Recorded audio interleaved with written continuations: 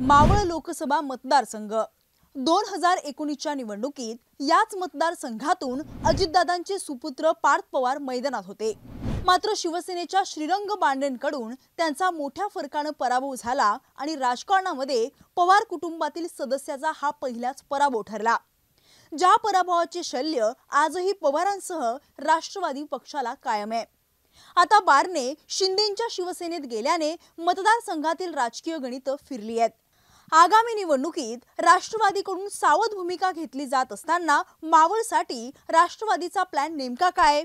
या मतदारसंघात पार्थ पवार नसतील तर राष्ट्रवादीकडून उमेदवार कोण असेल आणि मतदारसंघाचं चित्र नेमकं काय आहे तेच या व्हिडिओत पाहू. व्हिडिओला सुरुवात करण्यापूर्वी एक महत्वाची आठवण. मटाचं यूट्यूब चॅनल तुम्ही अजूनही सबस्क्राईब केलं नसेल तर ते जरूर करा. मावळ लोकसभा मतदारसंघातील पिंपरी चिंचवड मावळ पनवेल उरण आणि कर्जत या सहापैकी पाच मतदारसंघांच्या बुरजांवर श्रीरंग बारणेंनी दोन हजार एकोणीसला मताधिक्य मिळवलं. तर केवळ कर्जत या एकमेव मतदारसंघावर प्रभाव ठेवण्यात राष्ट्रवादीला यश आलं. मात्र बारणेंनी आता शिंदे गटात प्रवेश केल्याने मावळ लोकसभेची जागा दोन हजार चोवीसला आघाडीत राष्ट्रवादीकडे घेण्याची मागणी पिंपरी चिंचवडसह मावळमधील पदाधिकाऱ्यांनी केली आहे. मावळ हा संमिश्र लोकवस्तीचा मतदारसंघ. एकेकाळी राष्ट्रवादी काँग्रेसने चिंचवड मतदारसंघातील सर्वच भागांवर निर्विवाद वर्चस्व गाजवलं. मात्र दोन हजार चौदा मध्ये लोकसभा निवडणुकीपासून त्यांना उतरती कळा लागली. बारणेंनी राष्ट्रवादीच्या गडाला सुरुंग लावला आणि विधानसभेसह महापालिका निवडणुकीत गड खचला. दोन हजार एकोणीसला पार्थ पवारांना उमेदवारी दिल्याने राष्ट्रवादीतील सर्व गटतट एकत्र झाले. पण दोन हजार एकोणीसच्या निवडणुकीत बारणेंनी मताधिक्य बत्तीस हजार पाचशे पंधराने वाढवलं आणि बारणेंकडून पार्थ पवारांचा मोठ्या फरकानं पराभव झाला. मावळ मतदारसंघातील कर्जत उरण पनवेल या विधानसभा मतदारसंघात तटकरे कुटुंबियांची चांगली ताकद आहे. शेजारच्याच रायगडमधून सुनील तटकरे हे खासदार आहेत.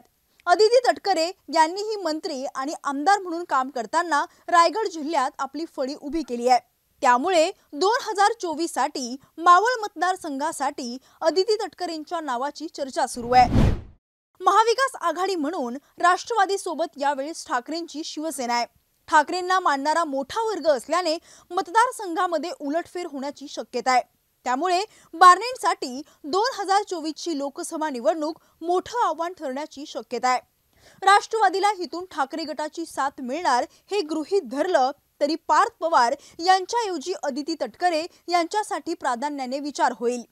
पार्थ पवारांकडे स्वतःची ताकद नाही आहे दोन हजार एकोणीस नंतर ते मतदारसंघामध्ये सक्रिय नसल्याची माहिती आहे. त्यामुळे अदिती तटकरे यांच्या नावावर एकमत होईल आणि त्यांना या ठिकाणी उमेदवारी दिली जाईल असं बोललं जात आहे.